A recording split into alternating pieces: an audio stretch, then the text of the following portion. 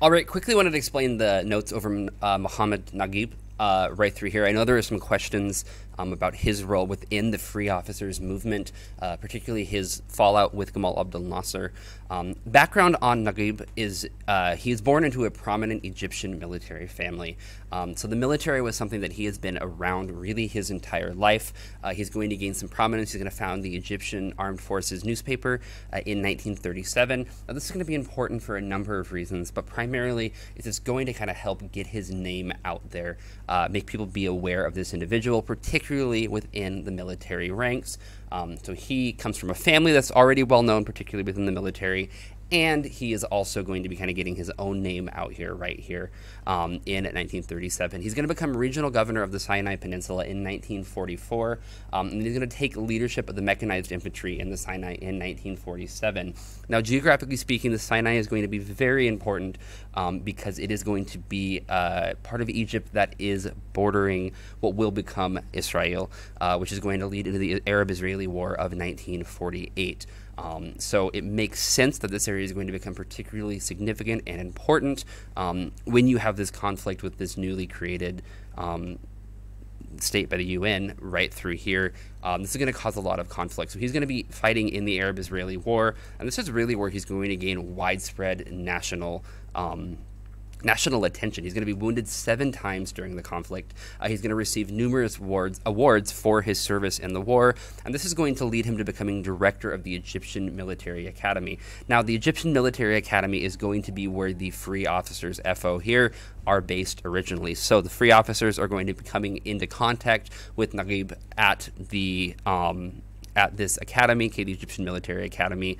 Uh, all of the free officers are under the age of 35. Nasser, who is pretty much their figurehead and their leader, realizes that the movement is not going to be taken seriously if they do not have a senior official behind them.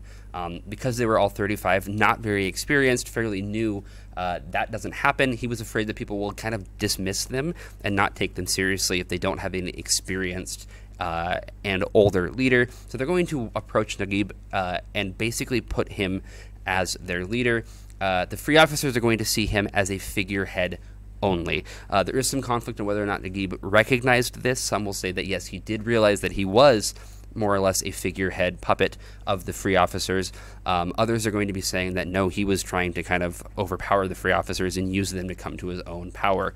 Um, there is going to be a coup in 1952, which is going to remove King Farouk, um, replace the monarchy, ultimately with the free officers. Okay, there's going to be some steps in between there, which I'm kind of glancing over, um, but it is important to understand that there's a coup in 1952 Naguib is going to be appointed chief of the army. Now, this is done by the free officers primarily to keep the rest of the military uh, to support the free officers movement. Um, Naguib was well, well respected by the military. Therefore, if you put him in power, you're going to keep the military happy. Uh, this is something that is incredibly important when you are taking over a country um, because the military has the guns. You want to make sure they have the weapons, um, and the people that have the weapons are supporting you.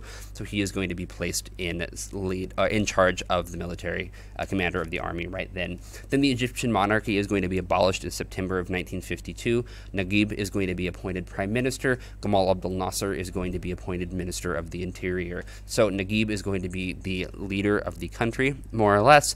Uh, Nasser, who is the leader of the free officers, um, is going to be minister of interior. So still a high power role, uh, but not quite as much power, not quite as much of a figure um, on the international stage as the prime minister would be. Then they're going to have the Republic of Egypt created shortly after. Naguib will be sworn in as the president.